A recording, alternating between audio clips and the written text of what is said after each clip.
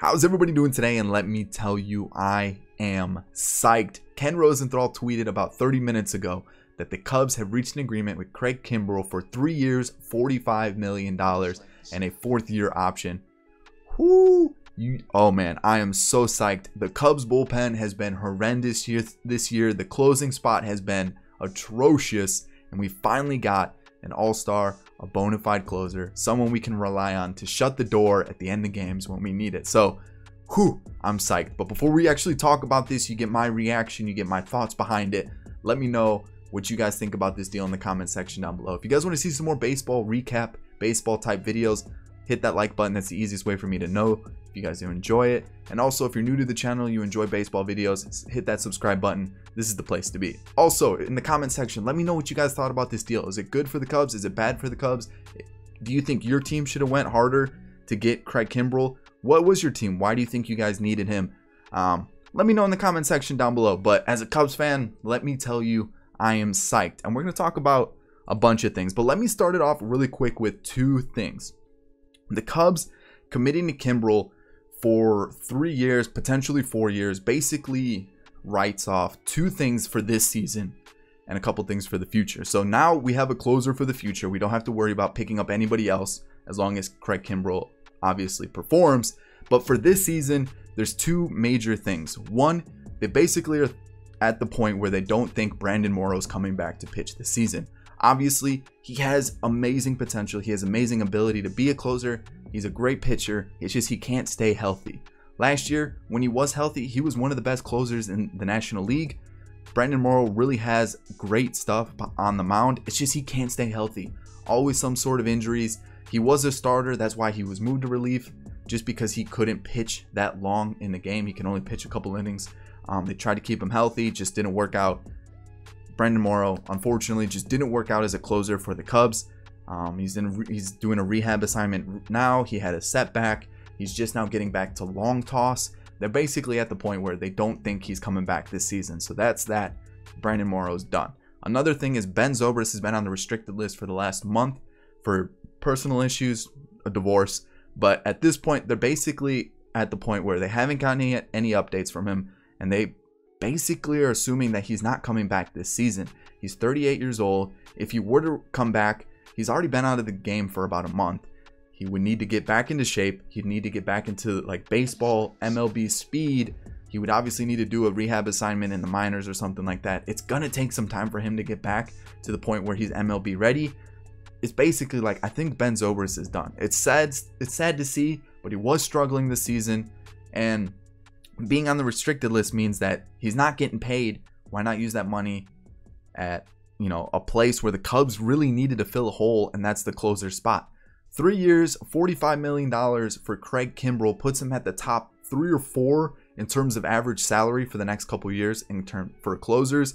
I think the only two that are higher than him are Kenley Jansen and Aroldis Chapman. So, I mean, when you've got a pitcher like Craig Kimbrel who has a career ERA of 1.19, a WAR of 20.1, and 333 saves in 10 seasons. I mean, you're really looking at a like a solid closer, a guy that you can really like trust in shutting the shutting the door in the ninth inning. So Craig Kimbrel, mostly known for throwing fastballs and curveballs. Earlier in his career, he did have a slider. It's basically disappeared at this point. And there is a supposed changeup, but he doesn't throw it like at all. So I mean, it's more of you got fastball, you got curve. That's what you're getting with Craig Kimbrel, and it works. He's still got that stuff to get. He's he's got he's got batters guessing all the time. So let's take a look at his stats. Um, rookie of the year. So one, he's a closer who won rookie of the year in 2011. 46 saves, 42 50, 47, 39, 31, 35, 42. 333 saves in his career, and he's only blown 34. So basically 10% you know, he's blown. So nine out of 10 times, Kimbrel's going to go out there and he's going to shut the door for you. And that's the biggest issue that the Cubs have had this la- this like entirety of the season. When we look at it, the Cubs are the third worst team in baseball. Whoops.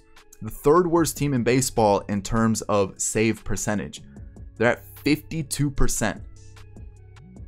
I'm sorry, what? So you have a guy out there saving the game and you have a 50-50 chance that they're actually going to save the game for you. That is horrendous. They're only better than the Mets and the Kansas City Royals. That is horrible. They've blown 11 saves this season. That's the biggest issue. If you can't have a guy that can close out the door for you, how do you expect to make the playoffs? I mean, they're supposed to be a World Series contender. They're not even going to make the playoffs if they don't have somebody who can close the door in the ninth inning. Especially in a one or two run game, you need that guy that you can trust. And that's the biggest issue with this Cubs bullpen right now. Steve Cishek is not a closer. He's a sixth, seventh, maybe eighth inning guy. He's doing pretty solid this year. Low ERA. He's five of seven for save opportunities. So he's been the go to guy for closers. But that's also because Pedro Strop has had some health issues. He's been dealing with a hamstring, it is. His ERA is a little bit high this season. He's been struggling a little bit this year. Um, he has five saves, but again, he's blown a couple as well, five of seven. So he has two save, two blown saves. Same with Cishek. But these two guys are really not your closers. They're more of guys who are going to sit in the seventh to eighth inning to hold the lead. You're looking more of your setup guys there. Brandon Kintzler, Brad Brach, Kyle Ryan, Carl Edwards Jr. Again, not guys that I'm looking for to close the door. Brandon Kintzler, he's been solid this year. Low ERA, been one of the better pitchers in the Cubs bullpen, the most consistent arm, I would say, in terms of the Cubs bullpen. But again, he's not a closer. He's more of a setup guy, maybe your seventh inning guy. Brad Brach, same thing. I really don't want him closing games. He's 0 for 2 this season. He's not the guy to go to. Kyle Ryan, very inexperienced, still growing, high ERA. He's kind of struggling at times this season. Not really a guy I want closing games. Tyler Chatwood, Mike Montgomery, they're long relievers. You know, they're more of like your sixth starting pitcher. Basically, if your your starting pitcher doesn't do well, you got your righty, you got your lefty to shove in there when you need some innings to be taken over. So again, the Cubs, they don't have a closer. Brandon Morrow, like I said, was supposed to be that guy. They paid him close to $10 million a year, and he hasn't had a healthy season since he's joined. That's a big issue. And that's kind of why they're at the point where it came to Ben Zobrist needing to go onto the restricted list for the Cubs to be able to sign a player of Craig Kimbrel's ability. So again, let's backtrack a little bit. Again, like we had to lose Ben Zobrist from now until the end of the season, the Cubs are saving $9 million this year if Ben Zobrist doesn't play anymore. And again, like I said, I don't expect to see Ben Zobrist come back at all. Um, you know, he's 38. He's kind of he's at the end of his career, and for him to come back after missing an entire month of the season, it's gonna take a lot to get him back up to speed. So he's gone. We don't have Brandon Morrow, so he hasn't been a closer for basically a year and a half. The Cubs have been just basically picking players and kind of just trying to fit in a piece to a spot that they just don't have a guy that can really fit in that spot. So it's it's a big issue that the Cubs have had. I don't know how they've made it work for the last couple seasons. Pedro Strop, like I said, not a guy I trust being the closer, more of a setup guy, and we finally have Craig Kimbrel. You know, he's amazing, lights out, got good stuff. You know, he's very very reliable. So for my opinion, I think this is a phenomenal deal. Yes, it is a lot of money, $15 million a year, like on average for three seasons. But again, you got to compare him to Chapman, who's getting paid high, who's putting up similar, you know, closing numbers. You're looking at, who else did I say? Kenley Jansen, again, one of the best closers. Craig Kimbrel is easily one of the best closers in baseball. You got to pay him well. And then you obviously need to be a good team to get him to a point where he wants to play for your team. Like and the Chicago Cubs, they're supposed to be World Series contenders. They didn't really get better this season. This makes them a definite contender now. They finally have that guy who can close out games, and that's what they needed. So Craig Kimbrel, I think, is a phenomenal, phenomenal pickup for the Cubs. And the big thing that I really haven't even stressed this entire video is that they didn't need to trade anybody. They didn't need to give up away give away a draft pick and compensation they just had to wait for the draft to pass, and they were able to sign him in free agency.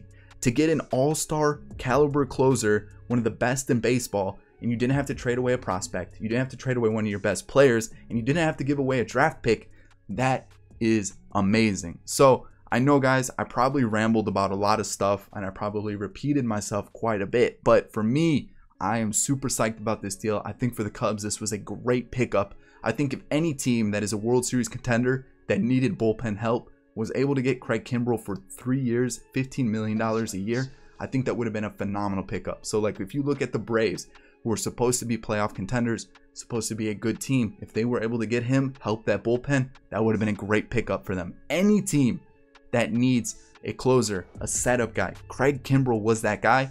And the Cubs were just lucky enough to really push hard, really get, and they finally got their guy. So, again, guys, I hope you guys enjoyed this video. It's just a quick little, you know, my reaction to the signing to Craig Kimbrel. I try to keep it as honest, as unbiased as possible, where I wasn't like, this is amazing. I'm a Cubs fan. This is amazing. We're going to win the World Series now. I still don't think we're a World Series winning team. I think it does strengthen our bullpen. I think it does strengthen the team. We still got a lot of holes that need to be filled.